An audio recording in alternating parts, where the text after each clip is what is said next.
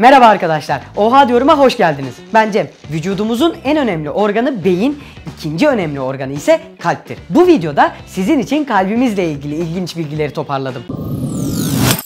İnsan kalbi günde yaklaşık 100 bin, yılda ise 35 milyon kez atar. Kalbin büyüklüğü sadece iki yumruğunuz kadardır. Ama bu haliyle 95 bin kilometre uzunluğundaki damarları kullanarak her organa kan ulaştıracak seviyede güçlüdür. Kalbimiz her gün bir kamyonu 23 kilometre ilerletecek kadar enerji üretir. Hayatımız boyunca kalbimizin ürettiği enerji ise o kamyonu aya götürüp getirecek kadardır. Erkeklerin kalbi dakikada ortalama 70 kez, kadınların kalbi ise 78 kez atar. Araştırmalara göre düzenli seks hayatı kalpten kaynaklanan sorunları %50 azaltıyormuş. Kalp vücudumuzdaki 75 trilyon hücreye kan ulaştırır. Kahkaha atmak kalp sorunlarını önleyen en iyi yöntemlerden biridir. Çünkü göbeğimizi hoplatarak attığımız her kahkahada kalp %20 daha fazla kan pompalar. Vücudumuzda kalpten kan almayan tek bölge gözdeki korneadır. Çünkü ihtiyacı olan oksijeni direkt havadan alır. Hayatımız süresince kalbimiz 1,5 milyon varil kan pompalar. Bu kadar varilde 200 vagonu doldurur. Erkeklerin kalbi 284 gram,